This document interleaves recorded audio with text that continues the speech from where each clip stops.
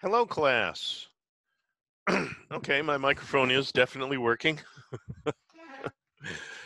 uh, what I wanted to do is do the, the second lecture in the series for um, the light rail analysis. That's what we're, we're doing. So I've drawn a couple things over here too. We're going to do an energy analysis, and this is for the light rail system in Alberta, Canada.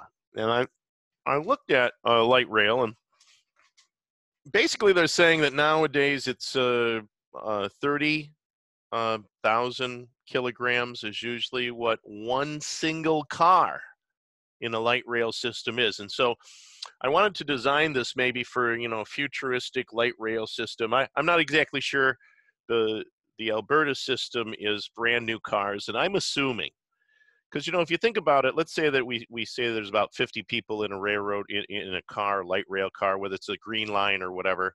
So you got 50 people maybe 100 kilograms per person. That's only 5000 kilograms right? So the, the the weight of the vehicle is a lot more than the weight of the people that are in the vehicle. So i'm saying in the future maybe we have car you know train cars that are made with light materials and we still have 50 people in them all together.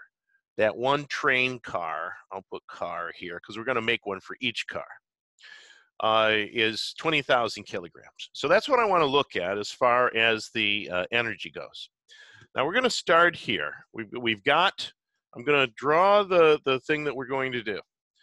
We are going to start here and we've got zero, V equals zero right? V equals zero meters per second there.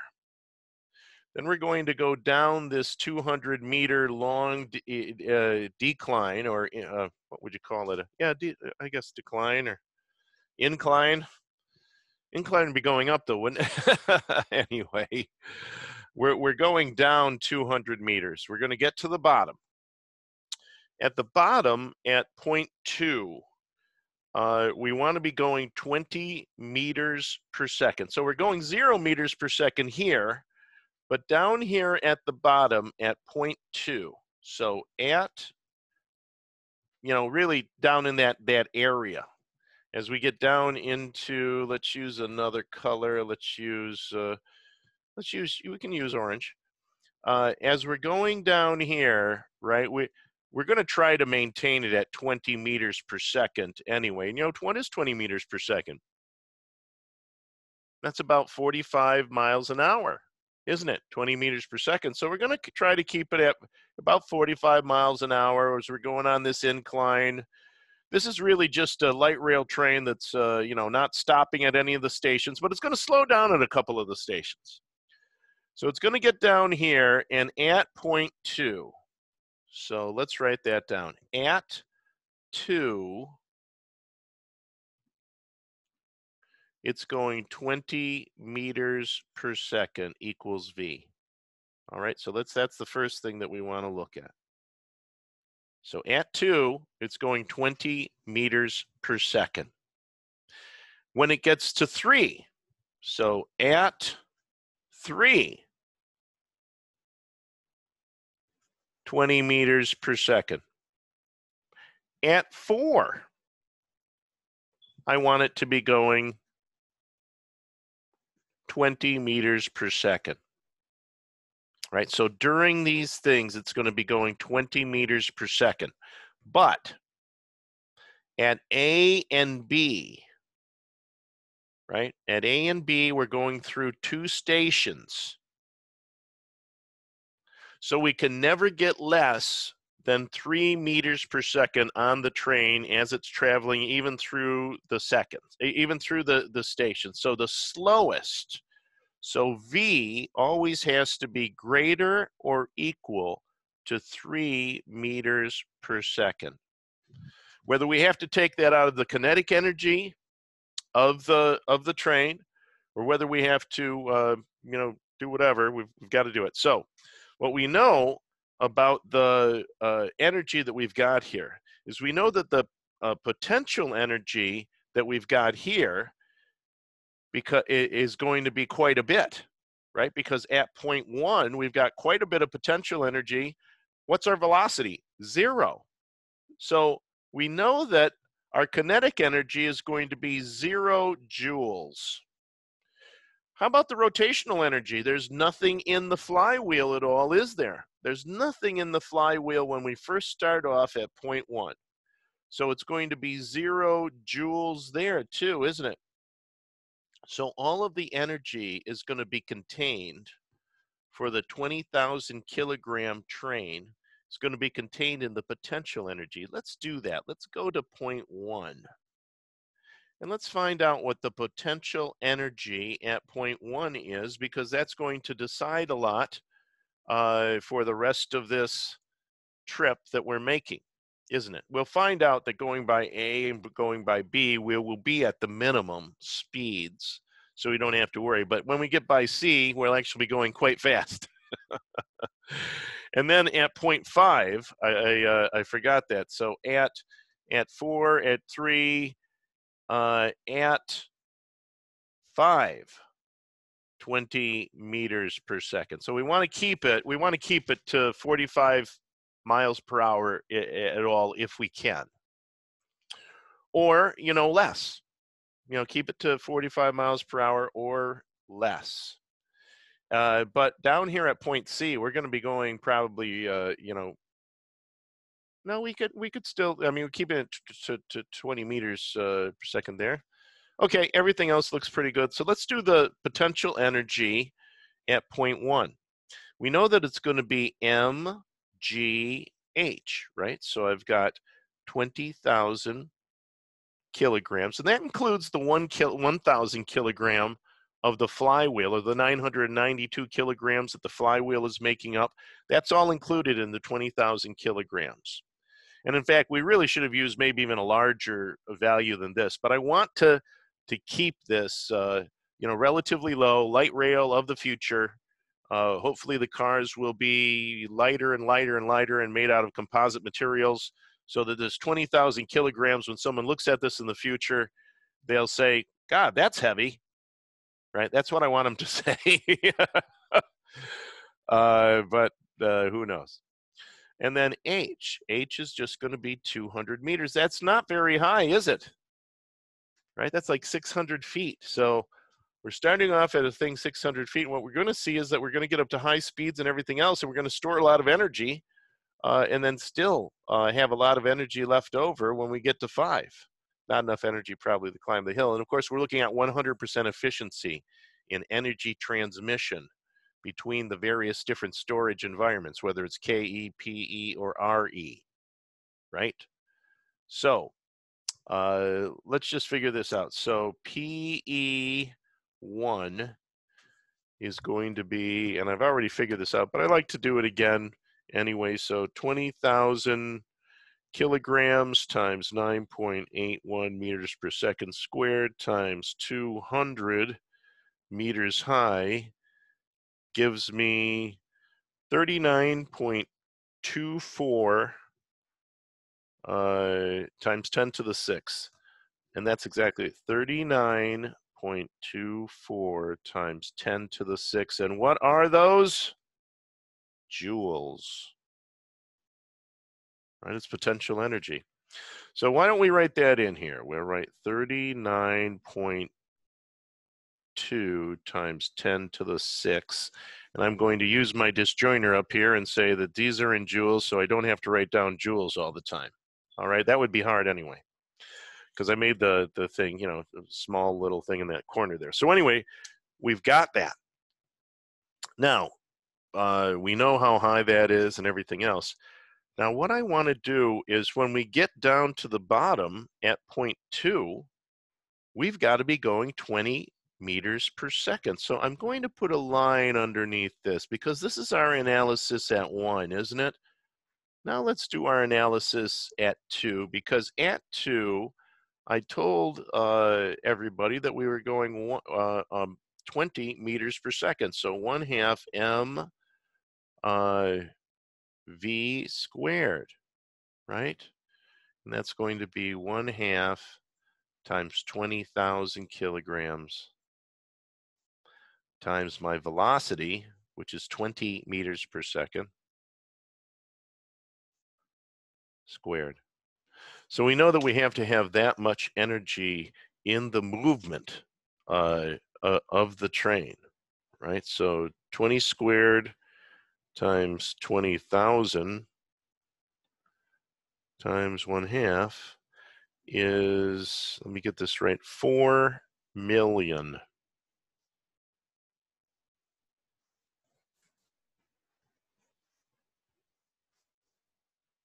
So let's put that down. So we know our kinetic energy is going to be 4 times 10 to the 6 joules. These are all joules. There you go. I wrote joules there, but I'm not going to write it anywhere else. So how much does that leave us? Well, doesn't that mean that in the um, uh, flywheel, we're going to have to have a lot of, of, of energy stored in the flywheel? Let's do that. So so we know that our potential energy now, because we're at the bottom, right? So this is zero and this is 200 meters. So we're at the very bottom now of our well of potential energy. So our potential energy is going to be zero. This is going to be four times 10 to the six, and this is going to be 35.2 times 10 to the six. Does everyone see how I've, I, you know, we have conservation of energy. There's two conservation things conservation of energy, which we're looking at now.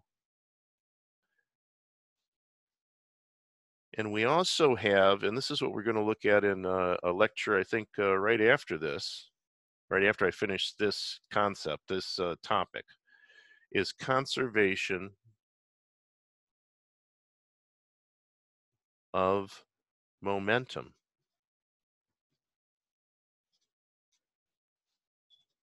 Right?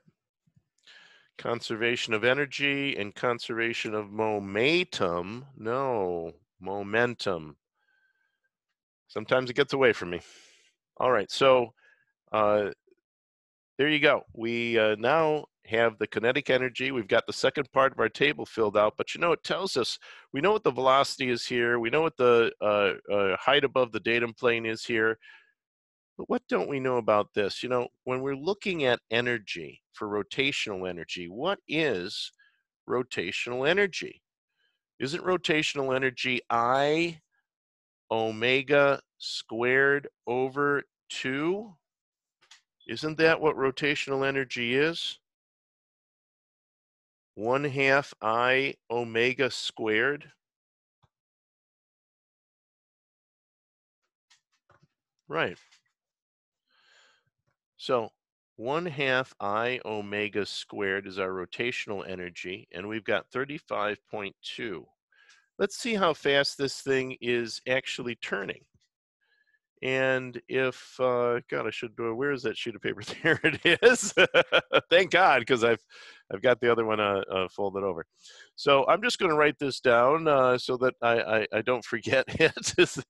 the total for our moment of inertia is 297.2 kilogram meters squared.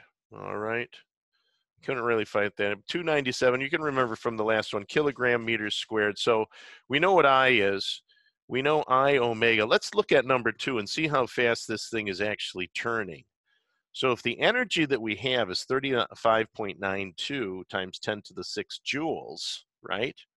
And we know what I is, and we know 2, can't we say that omega equals, and I'm just going to put some brackets here so we can uh, see how it all works out, 2 times the energy of rotation, 2 times 35.2 times 10 to the 6 joules. Right, I'll put I'll definitely put my units in my equation right? So 2 times the energy divided by the moment of inertia, which is 297.2 kilogram meters squared. There you go. Anybody uh, who was wondering what those were now sees me use it in the equation, so they, they won't have a question. Uh, and I've got to take that to the square root, right? And of course, the square root is just to the 0.5. Uh, the square is to the 2, so the square root would be to the 0.5. I'm sure everybody knows that. If you didn't, I, you know, where did you first learn that? That's the interesting question, isn't it? So let's do this. So 2 times 35.2 to the sixth divided by 297.2 and then taken to the square root gives me 486.7. And what would my units be? Omega. Omega is 486.7 radians per second, right? I'm just going to give you that in RPM as well. So times 60 divided by 2 divided by pi. Oh, wait, no, that's, yeah, that's right. Uh, 4,647 RPM. All right. And I'll just take my little separator thing there and draw like that. There you go. So, but that's not what we're interested in anyway. What we're really interested in is how fast it's turning right here, right? And that's quite high. We've got that thing spinning uh, at, uh, you know, 46, 47 RPM. Or if you think about it, if we divide radians by 57 uh, or by 2 pi, right, uh, that thing is rotating incredibly fast. I'd be dividing this by 3600, so it's like one point one and a half times per per second. Let's see how many. No, way way more than that. Um, anyway, radio. I've got the radians, uh, and we know that there's two pi radians are about 6.28, so it's about eh, 75. 75 revolutions per second. That's pretty fast. Um, anyway, so we now know what's happening at 2. Let's go on. Uh, all right, so the next one we want to come to is A. We're coming up this slope. It's a 50 meter high slope. I know that I can't go less than uh, point uh, where have I got? Three meters per second. So let's put that in there. That's a qualifier, isn't it? So I can't go less than three meters per second. Am I even going that high? Let's say that I was to shift uh, all of my kinetic energy into potential energy. How high would that get me? How high would that get me?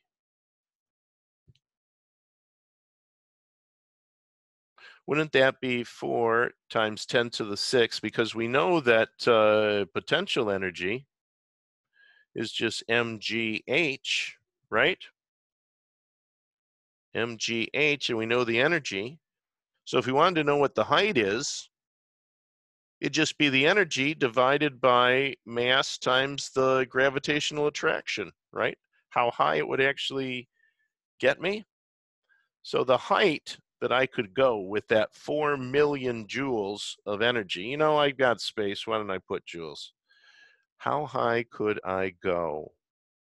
That would be 4 times 10 to the 6 joules divided by, right? M times G. So 20,000 kilograms. I'm just doing this. I already know the answer of this already, of course, but you don't. So uh, times 9.81 meters per second squared. And yes, I always like to put my units in there, even though sometimes, uh, you know, it means it takes more time. So 4 million divided by 20,000. Oops, wait a second. Sorry. 4 million divided by 20,000 divided by 9.81 gives me 20.387. So 20.39 meters. That's not going to do it, is it? That's only taking us tw up 20.39 meters. So we, we, we, you know, our kinetic energy, we, we can't go down to that. We can't because the minimum kinetic energy that we can have uh, would be for a velocity of three meters per second. So let's do that. so kinetic energy minimum equals one half m times three meters per second squared. What is that? Well, 20,000 times one half times three meters squared. Three squared times 20,000 times one half is 90,000. So we know that we have to have 90 times 10 to the 3 joules there all the time? 90,000 joules. so I've got 90,000 joules there. And that 90,000 joules, so that means that the only thing that I really have to use is the, the four kilograms here. I've got it, or 3.9, uh, anyway, you know what I mean. Uh, 4 million minus 90,000. But but I'm going to take all of that, all of that uh, 3.6, and I'm going to have to take some of this too, aren't I? Because I'm going to have that, and I know that my potential energy now I'm up to 50 meters. So let's look at what our potential energy is. That would be the mass times the gravitational constant, right? I should put a, uh, yeah, let's do that uh, the mass times the gravitational constant times the height. So that's pretty easy. That's just 20,000 times 9.81 meters per second squared times 50 meters. And that says that I have 9.81. 9.81 times 10 to the 6. And so what is left over then in my um, rotational energy in the flywheel? So as I'm gonna I'm gonna have to actually access the flywheel to get up to point A and keep my velocity at uh, three meters per second as I go through the station at A. And I also know that I'm up here, so I've got some of my potential energy back, and that's going to, of course, subtract from the overall total kinetic energy uh, that we have. So, so let's do that. So I have 35.2 minus 9.81, you know, million uh, minus 90,000. And that leaves me with 25.3. 25.3 times 10 to the 6. So there you go. We still have plenty of energy in reserve. We started off at the 200. We've come up there. We're now at point A, right? So we've we've we've done this. We've now done point A. We we've of course done number one. Now what we want to do, uh, and, and we haven't really finished uh, all of A. We've finished out all of the things here, but what we'd want to do is we'd want to find out what is omega, right, for the thing here. It's going to be less much less. Everybody, I can, I think, I'm not going to do that again, but I think everybody could do that. We've already figured out that this is the kinetic energy for three meters per second, and we know that this is the potential energy. You know, why don't we do this uh, at A?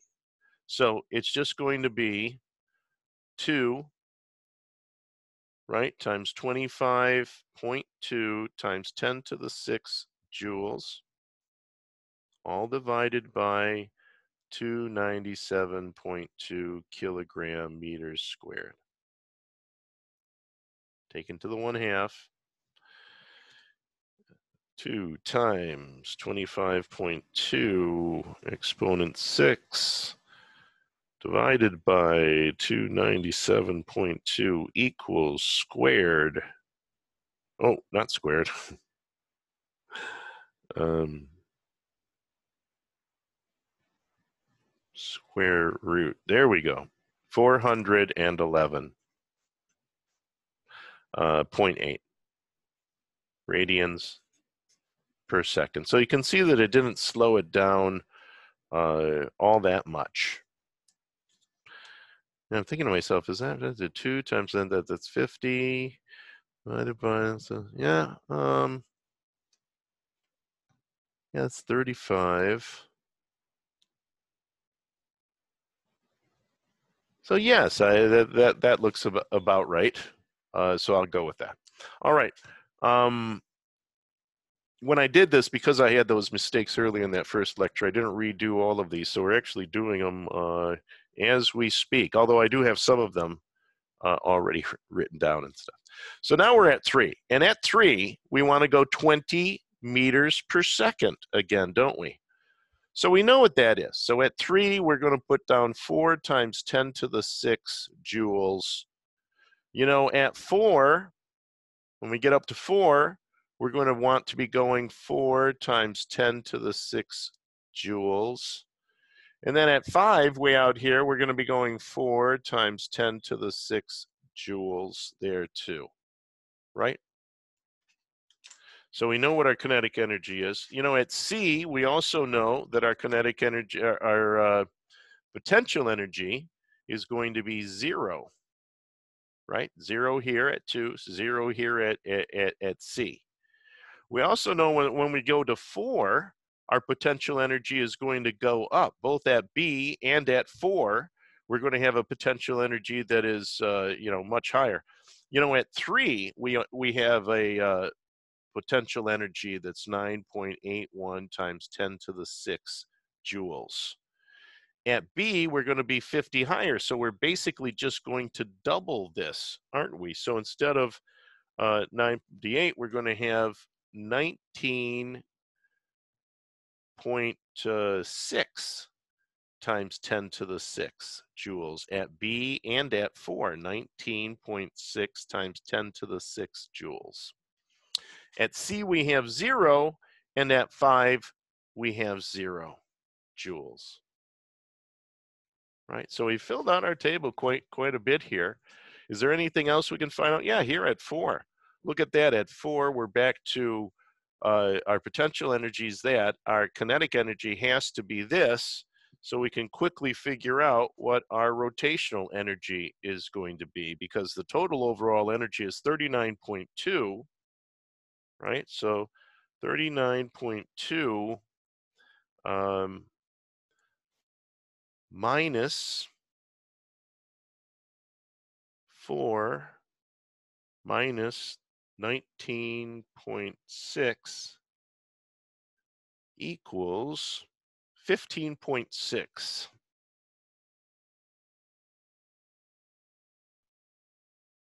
Right? Okay. That's what our rotational energy is going to be at four. Uh, at B, if we're going from there, again, we can't use, uh, uh you know, right here, 9.81, this would be at three. Uh,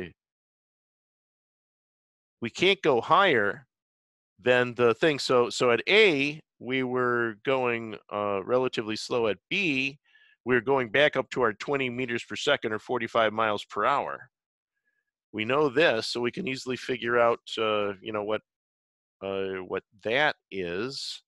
So 39.2 minus 4 minus 9.81 is 25.39. Wait, wait, wait a second. No, it's, what did I do there?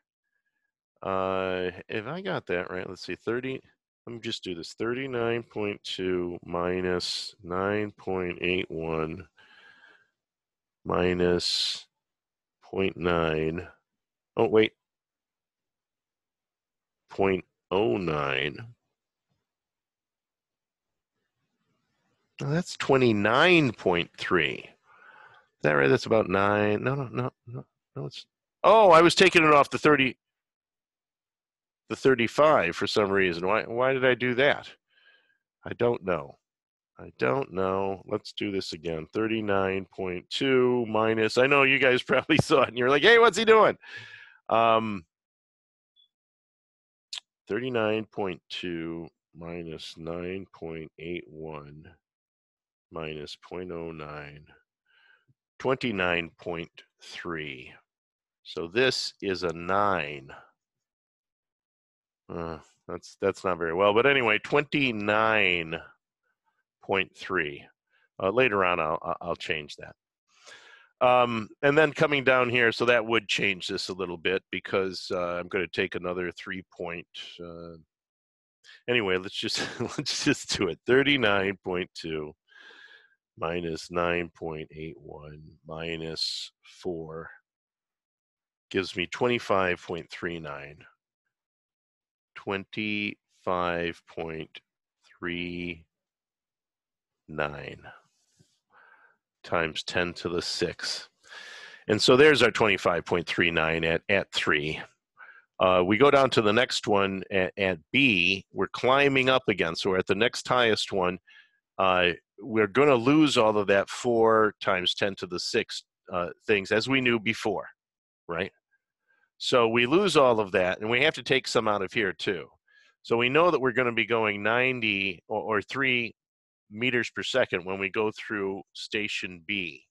Both of those two stations, we want to be going slowly as we go through there. So 90 times 10 to the 3 joules as we go through there, and that then tells us what's left inside our rotational energy 39.2 minus 19.6 minus 0.09 is 19.51.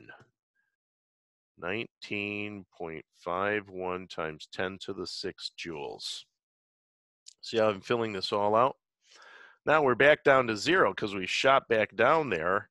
Uh, right at point C, we're going to be going as fast as we, we possibly can, right? Then we're going to slow it down. So how fast would we be going if all of this was in there and I just, if I changed all of the potential energy from 100 meters, I'm just going to keep this the same, right?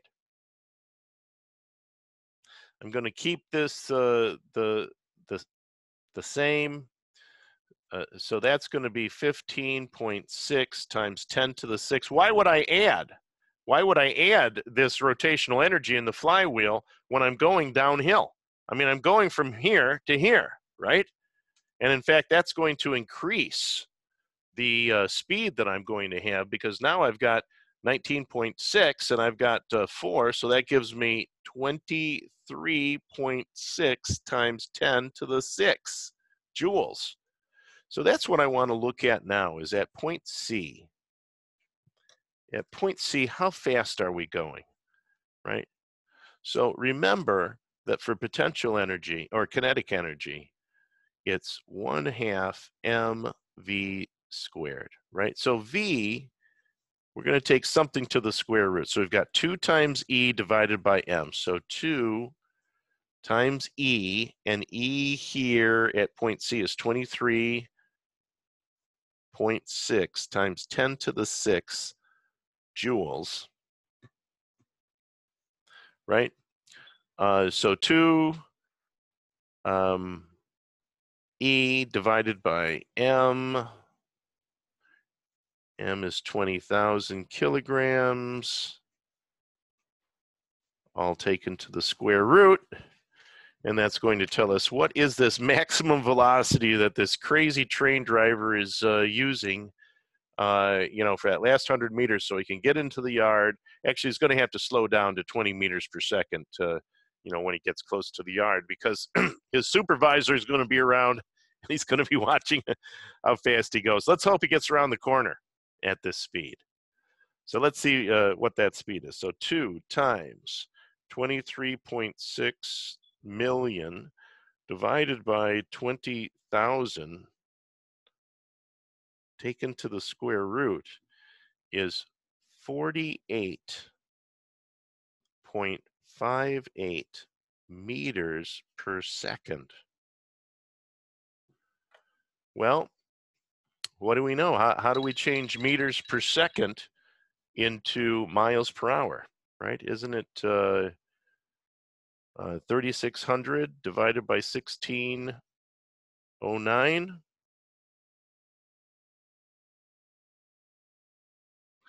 And that gives me 108.7 miles per hour, right? So after he's coming down here, he's at, at point C, he's going 108.7 miles per hour. That's the fastest that he gets on the whole route because then he's got to bring it back down to 45 miles an hour when he gets over here because he's got to cut that more than in half, doesn't he? Down to 20 meters per second when he goes into the shop. And so when he does get into the shop, he's still going to have 35.2 times 10 to the 6 joules waiting, you know, waiting for them. In fact, he's going to slow this down to nothing and he's going to end up with still the same 39.2, right? And can they use that to drive themselves back up the hill? Yes, they can if there were no losses, but there are right? And that's what I want to put down here is that in reality,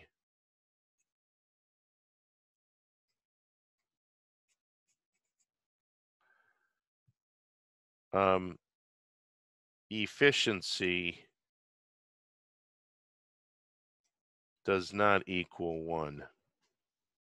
So we're going to be losing stuff all through here. There's going to be air resistance. There's going to be bearing uh, resistance. There's going to be tra track, uh, you know, roughness resistance. So there's always uh, losses that are occurring. Here we're talking about theory, uh, but you know, out there it's reality. All right, this is uh, the second lecture, and this is more on our energy analysis of this flywheel. And as you could see, the flywheel at the highest is only getting up to about 5,000 RPM, which is uh, not that bad. Even though it's a huge flywheel, it still is only going about 5,000 RPM. And that, uh, you know, that that's fine. I mean, we can make a lot of things that it would, I mean, maybe not 10,000, you know, kilograms per cubic meter density, but we could make a lot of things that would work like this. And for light rail, this is a, a, great idea. If you could do it to every car, every car have a flywheel designed like this. Um, think of the amount of energy that you would save. And of course, this is what they were thinking when they took a, you know, the British buses and they put the flywheels underneath them. Um, those weren't really 20,000 kilograms though, right? So we'll have to, you know, Anyway, uh, see you at the next lecture. I've done a, uh, like, done like, anyway, I'll see you at the next lecture. I, I don't know uh, if I'll do another lecture today. Maybe tomorrow. My throat's uh, a little sore. That was the only lecture I've had had to throw away in all the lectures that I've done, though. So uh, that was uh, that's good. I hope I, I never have to throw another one away. See you then.